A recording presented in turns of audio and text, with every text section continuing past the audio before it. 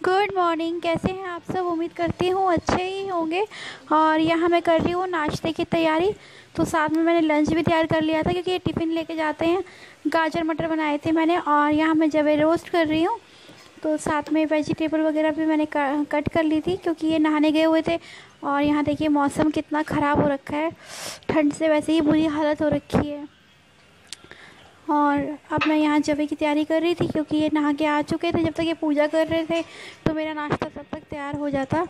तो मैंने यहाँ पे पहले ऑयल डाला है, फिर इसमें मैंने सरसों डाली और फिर मैंने ग्रीन अनियन डाल दिया इसके अंदर और मैंने वेजिटेबल में कट की थी गाजर और शिमला मिर्च, आलू तो मटर मैंने इसमें ऐड नहीं किया था।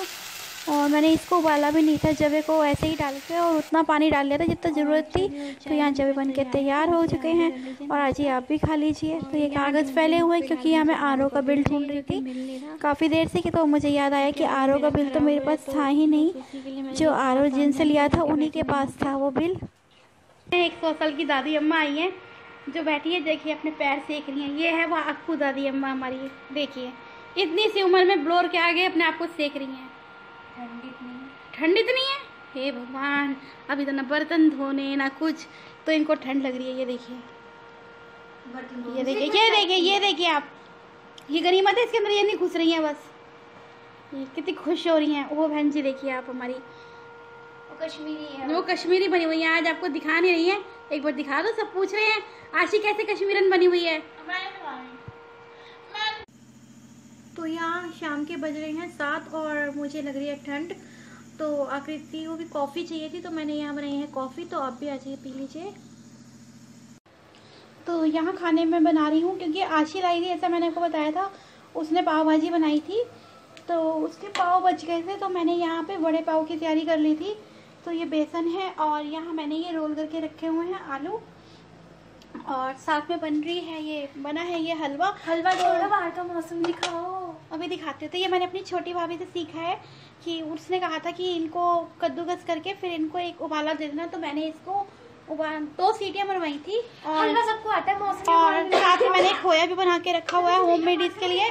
तो जब मैं इसको तैयार करूँगी तो जब मैं इसको तैयार करूँगी तो तब दिखाऊँगी। बीच में आकृति ने मिक्सी ऑन कर दी थी तो वो इसलिए उसकी आवाज़ थी तो उसके लिए सॉरी और ये देखिए यहाँ का मौसम। कुछ भी नहीं दिख रहा है यहाँ पर। तो चलिए अब अंदर चलते हैं क्योंकि बाहर बहुत ज़बरदस्त ठंड है। तो ये आकृति की फेवरेट है ये देखिए। ये क्या करेंगे? अभी ब्लोर चला के बैठ जाएँगी और करेंगी क्या? तो दरवाज़ा बंद करो। और यहाँ पिसरी है इसके लिए चटनी बड़े पाव के लिए। और साथ में मैं अभी इसमें मिर्च इस ऑयल में मिर्च भी फ्राई करूँगी।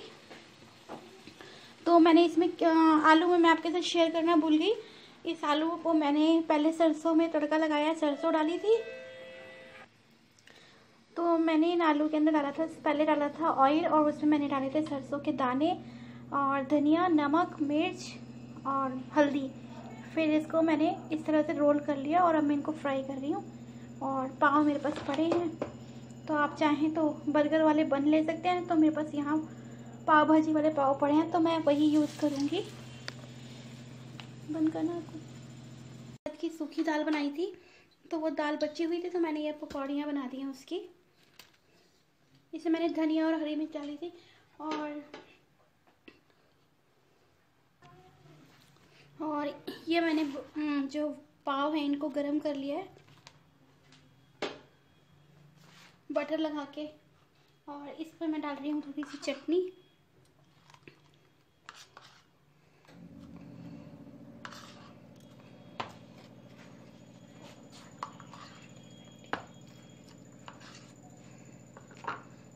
तो इस तरह से मैंने इसको यहाँ कर लिया और मैंने ये बड़े भी यहाँ पे फ्राई करके रख लिए हैं। तो ये है वो बड़े इसके ऊपर मैं रख दूँगी और इनको बस ये तैयार है खाने के लिए।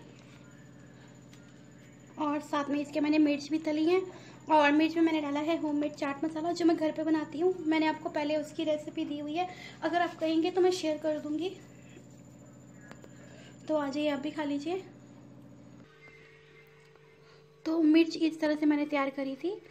ये मैंने बीच में से कट लगा के फ्राई कर ली थी और ये है मेरा चाट मसाला होममेड जिसमें मैं डालती हूँ तो आमचूर, नमक और मिर्च। तो मैंने इसके ऊपर बस ये डाली है और इस तरह से आप ट्राई कीजिएगा, बहुत ही बिल्कुल आपको वैसे लगेगा जैसे बॉम्बे में मिलता है वड़ा पाव, उस तरह से ही इसका टेस्ट आता है मिर्च का। तो मैं यहाँ पर किचन साफ़ करके बस मैं रोटी ही बनाना शुरू करूँगी क्योंकि ये रोटी मना कर रहे थे वैसे तो मैंने कहा एक चपाती खा लो। तो बस एक ही चपाती इनके लिए बनानी है और आकृति देखती हूँ खाएगी तो ठीक है। बच्चे पता नहीं मुझे अभी खाएँगे नहीं खाएँगे, बड़ा पाव से उनका पेट भर गया है।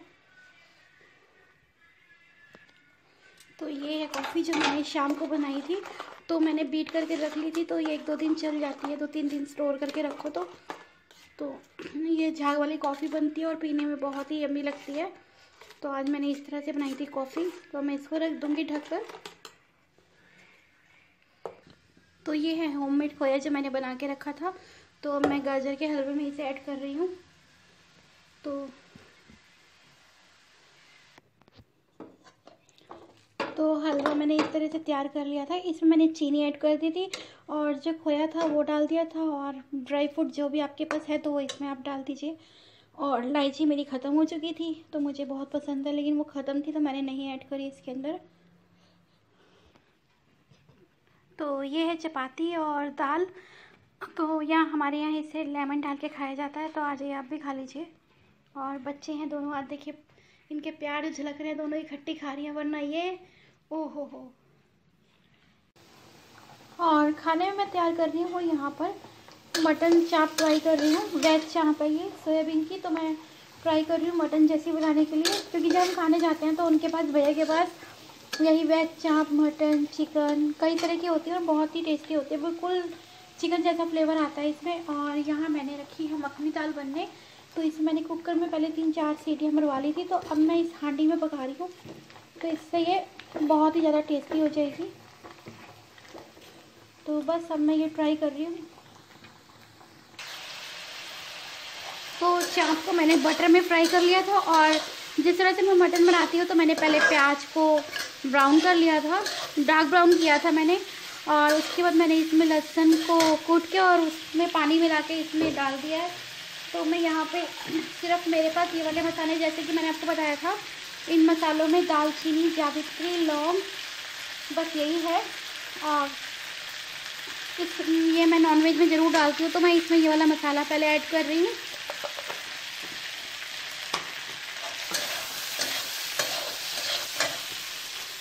खड़े मसाले मुँह में आते थे तो इसलिए मैंने ये पीस के रखे हुए हैं। और यहाँ है जो टमाटो मैंने चॉप करे हैं तो उनको डाल रही हूँ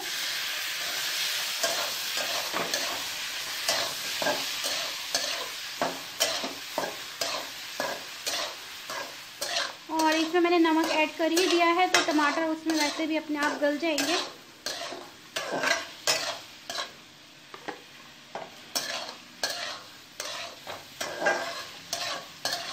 तो अभी मैं ऐसे ही इसे सौते करूँगी।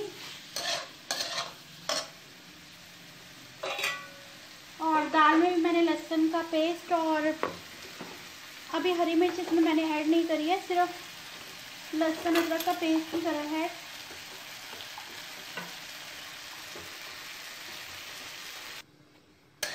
तो चाप बन चुकी, वैसे बस मसाले वगैरह सब डल चुके हैं तो अब मैं इसे सिम पे थोड़ी देर पकाऊँगी। तो मैंने बनाई उसी तरह से है, जैसे मैं मटन बनाती हूँ बट आगे पता नहीं।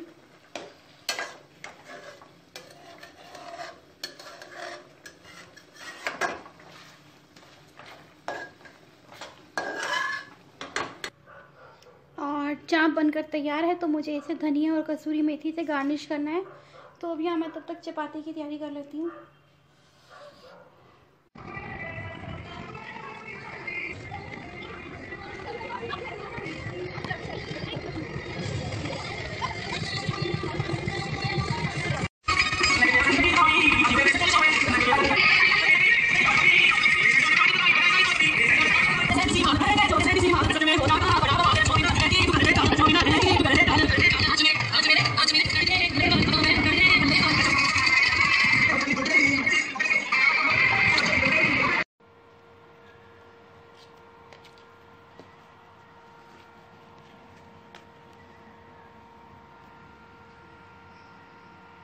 आपने आपने इनका प्यार बहुत देखा होगा लड़ाई। चलो लड़ाई बंद हो गई है। देखिए आशी को गर्मी लग रही है। ठंड लग रही है? ओहो। अभी तो उतारी है स्वेटर। एसी के आगे बैठी है एसी चला के। अरे थोड़ा इधर करो यार। ये देखो दादी अम्मा बुड्ढी अम्मा इतने मोटा कम्बल स्वेटर तो भी पहने थे। अंदर इन्होंने पहने देखो। इधर पहना है आज आपको आपने और आपने इधर पहने? आप तो गवार हो देश के। मम्मी ज़्यादा मत बोलो फिर उठ के हाँ कपड़े पहनो ना। जब दूसरे को बोले तो वीडियो नहीं है। देखिए लाइव देखिए लाइव टेलीकास्ट चल रहा है इनकी लड़ाई का। मत और यहाँ यहाँ पर मैंने कुछ स्टार और रखे हैं बाकी मैं लगा चुकी हूँ। अभी आपको मैं दिखाऊँगी। जो मैंने सजाया है क्रिसमस ट्री और वॉल सजाई है। ये देखिए आप। हाँ क्या हुआ? एक बार फ़ोन चाहिए। अपना फ़ोन होते हुए तो मेरा फ़ोन क्यों चाहिए होता है तुम्हें? तुम्हें आप तुम्हें आ जाती हो वीडियो में? वैसे हाँ ये सही है। ये सही है। आशी वो देखिए कितनी हँसी आ रही है? बंदर ऐसा मुँह बना लिया। आप हे गाइस कैसे हो आप सब? उम्मीद करती हूँ बहुत अच्छे होंगे। और कल हम लोग घर पे नहीं थे मतलब मैं नहीं थी और मम्मा ने हमारे पीछे से ये सब कुछ किया। और ऑरिजिनल ट्री तो कितना अच्छा लुक दे रही है कुछ अलग से ही लुक देती है ये। और ये सब कुछ मम्मा ने अपने आप बना के किया। और जब मैं आई, मुझे यहाँ पे चॉकलेट्स मिली आपको दी मुझे, और हमारे पास कैश भी मिला। और मम्मा की तबीयत ख़राब होने के बाद मम्मा ने इतना कुछ किया।